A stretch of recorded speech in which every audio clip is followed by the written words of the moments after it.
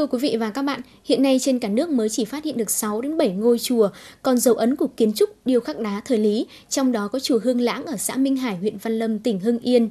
Với những hiện vật còn lại, chùa Hương Lãng đã được nhà nước xếp hạng là di tích đặc biệt quan trọng. Trong mục Tinh Hoa phố Hiến hôm nay, mời quý vị và các bạn cùng về thăm ngôi chùa với những hạng mục điêu khắc đá cổ nhất Việt Nam hiện nay.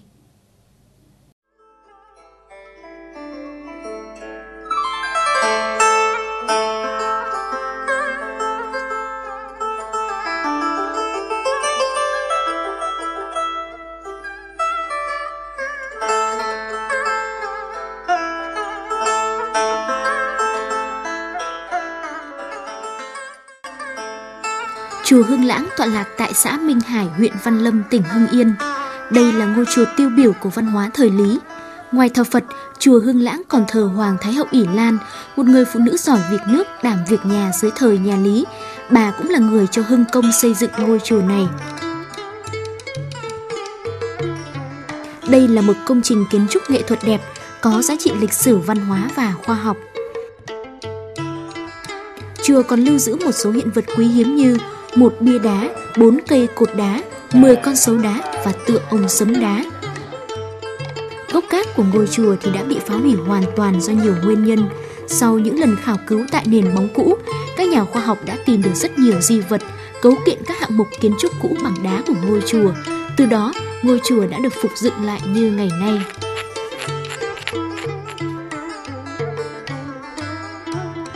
Hướng chính chùa là hướng Nam nhìn ra sông Lạng, theo kiến trúc được trùng tu lại năm 2005 thì chùa Hương Lãng được xây dựng nhỏ hơn so với nền móng cũ, gồm nhà đại bái, tiền đường và hậu cung. Ba tòa kiến trúc này không có gì đặc biệt so với ngôi chùa khác trên đất Hưng Yên. Tuy nhiên, muốn vào trong tòa tiền đường phải qua các bậc thềm. Ở đây, các bậc thềm được ngăn cách thành 5 lối bởi 6 thành bậc chạm hình xấu đá nằm quay đầu ra phía trước.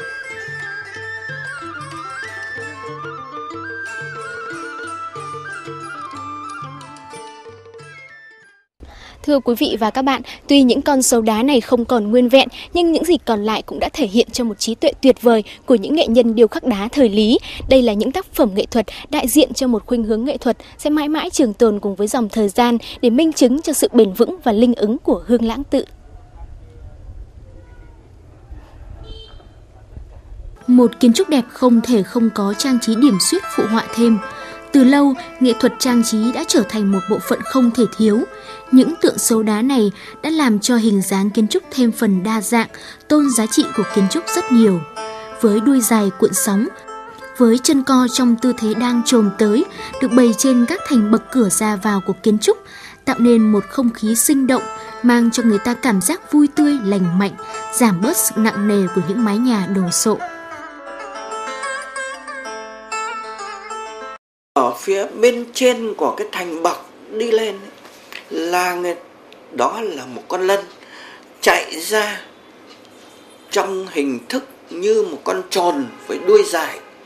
Mà con lân là cái biểu tượng của trí tuệ, của sức mạnh tầng trên của thần linh. Nên nó đứng ở hai bên cái thành bậc ấy, nó như là để kiểm soát tâm hồn cả hành hương trước khi vào với điện Phật. Nhưng mà chúng ta còn thấy rõ ràng rằng cái phía trong của cái thành bậc thì không có trang trí bởi nó vướng cái bậc lên xuống. Còn phía ngoài thì nó có một con phượng. Ở đây con phượng trên nền của nó là những cái vân xoắn, uh, những cái mây vân cuộn uh, và tất rồi có những các cái hoa thiêng. Tất cả hội lại cái nền ấy như một cái nền của bầu trời mây đầy sấm chớp. Và với cái ý nghĩa như thế là cái ý thức cầu mưa cầu mùa sinh sôi của người xưa đã rất thể hiện rất rõ rệt. Và cái ý thức ấy rất hợp với cái tâm hồn của Ý lan phu nhân, một con người ủng hộ, sản xuất một cách mạnh mẽ, một con người giữ vững cái hậu phương để cho vua và lý thường kiệt cầm quân để đánh giặc.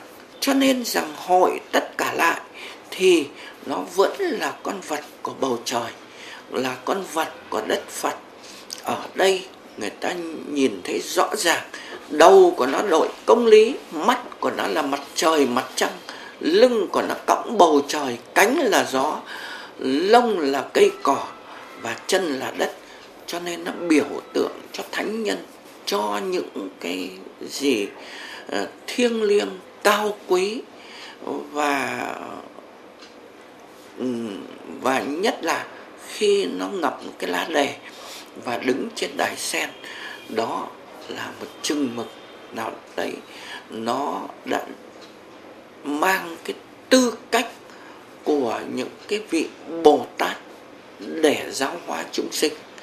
Và trong trường hợp này thì nó là con chim ca lăng tần già, hoặc tần già, hoặc cộng mạng, hoặc mạng mạng. Đó là một con chim thiêng, ngậm cái lá đề là biết dùng cái giọng hót dịu hòa để giảng về Phật đạo để giáo hóa chúng sinh. Tòa tiền đường có kiến trúc kiểu vì kèo con trồng đấu sen với bốn hàng chân cột. Tất cả các cột đều được kê trên các tảng kê bằng đá, trang trí hoa văn hình cánh sen của thời Lý. Các bộ vì kèo đều làm bằng gỗ lim, chạm khắc hoa văn với các đề tài hoa lá cách điệu.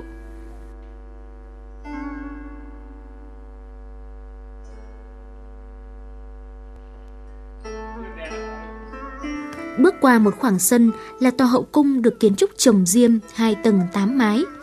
Tòa hậu cung cách tòa tiền đường một khoảng trống.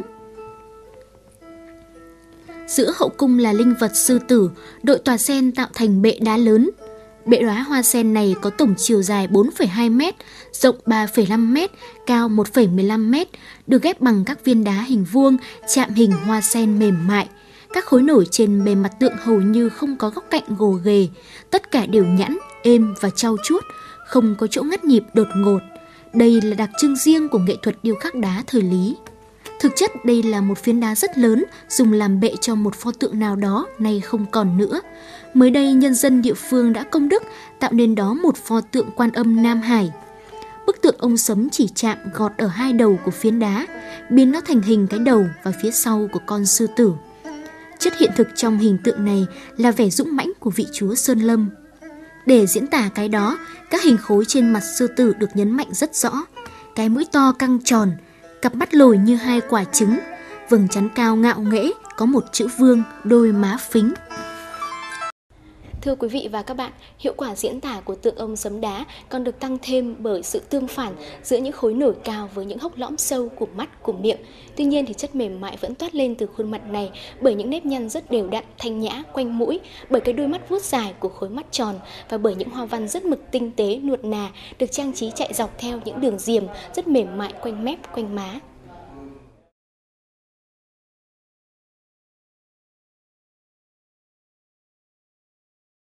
Chất trang trí đó còn nằm trong sự tạo hình, tưởng như rất không cân đối. Đôi chân bé tí so với cái đầu to lớn nặng nề, mang một lớp tóc đầy xoắn ốc đều đặn.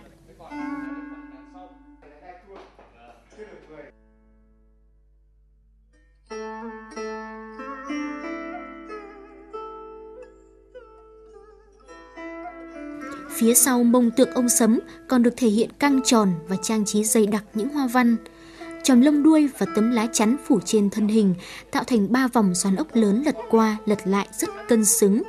Những dây hoa cúc xen nhau liên tiếp làm nền. Những hình trang trí này khéo léo, tinh vi đến mức khiến ta phải ngạc nhiên. Chúng nổi lên dày đặc mà vẫn có vẻ mỏng manh, nuột nà như không phải chân đá mà là trên đồ kim hoàn.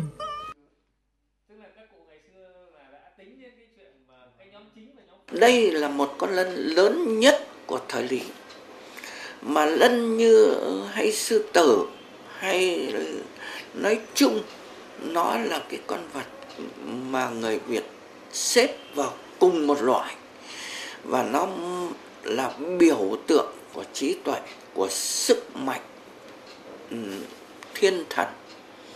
Và như vậy, nó quy phục để ừ, nó đội đài sen.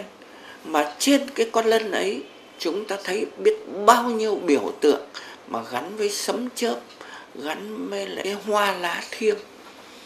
Và ở trên đầu con lân ấy có chữ vương cũng như ở đây nó đã nói lên đây là một linh vật ờ, đứng đầu mọi linh vật.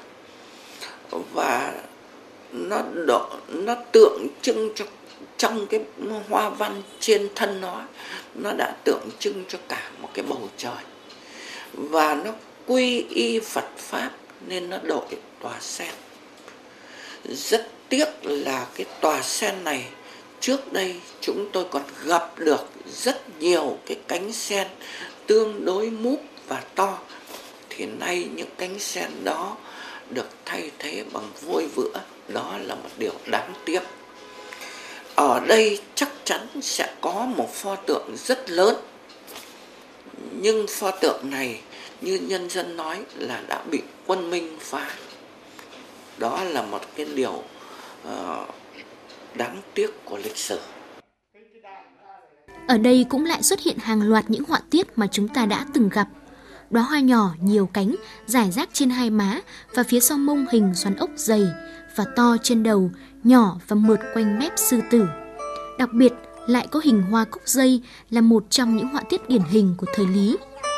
Sự có mặt của những họa tiết này cùng với thủ pháp điêu luyện trong khi tạo hình chứng tỏ một cách rõ ràng một sự xác lập vững vàng của phong cách tạc tượng thời Lý. Chúng ta còn gặp ở đây những các cái viên đá tảng và đặc biệt là hai cái cột mà như là hai cái cột của kiến trúc. Hiện nay cái cột này chưa biết nó là cột gì, nhưng mà rõ ràng cái cột đó là của thời lý. Và nó còn là một vấn đề tồn nghi mà không tìm thấy ở các di tích khác những di vật còn lại tại chùa Hương Lãng, xã Minh Hải, huyện Văn Lâm, tỉnh Hưng Yên là sản phẩm của một thời kỳ huy hoàng của chế độ phong kiến nước ta, một thời kỳ mà mọi giá trị của tinh thần dân tộc rất được đề cao. Nghệ thuật của các tượng đá chùa Hương Lãng một mặt đã kế thừa truyền thống lâu đời của nghệ thuật dân tộc, một mặt biết thâu thái những tinh hoa của nền văn hóa các dân tộc khác. Bởi thế, nó đã nhanh chóng xác lập cho mình một phong cách vững vàng, ổn định, giàu sắc thái riêng. Tiếc rằng những tác phẩm thời Lý ở đây không còn nguyên vẹn và nhiều di vật vẫn còn nằm dưới lòng đất. À, đảng ủy à, địa phương và nhân dân địa phương cũng có một cái tâm nguyện là đề nghị các cấp đảng, nhà nước mình quan tâm, tạo điều kiện có thể đầu tư khai quật để tìm hiểu thêm và tìm lại những cái hiện vật đá vẫn còn nằm sâu ở trong lòng đất. Cái thứ hai là chúng tôi cũng mong muốn là các cấp nhà nước mình quan tâm tạo điều kiện hỗ trợ đầu tư khôi phục lại để cái di tích để chùa Hướng lãng của quê hương chúng tôi nói riêng và đây là một cái di sản của nhà nước mình nói chung ngang tầm với cái giá trị lịch sử của di tích. Đó là một trong những khó khăn rất lớn trong khi tìm hiểu và phục dựng hoàn chỉnh lại ngôi chùa. Tuy nhiên, qua sự thành công của những tác phẩm còn lại tại chùa Hương Lãng, có thể khẳng định tinh thần dân tộc chân chính đã vạch ra một hướng đi tốt đẹp cho sự phát triển của nền nghệ thuật tượng thời Lý. Và những tác phẩm này không những rất quý giá đối với tinh hoa văn hóa của Hưng Yên, mà còn có những đóng góp nhất định đối với kho tàng văn hóa nhân loại.